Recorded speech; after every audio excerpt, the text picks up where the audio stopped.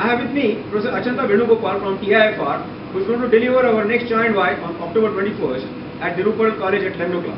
He is going to talk about something called plasmonics. Is something to do with the plasma that you see in the arc furnaces?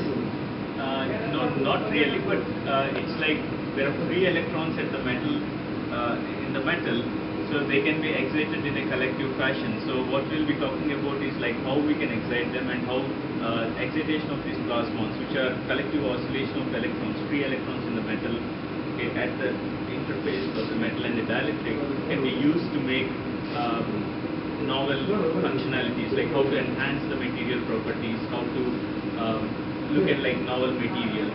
Uh, that's what I'll be talking about. To attend the Chai and Why to learn more about this novel technique,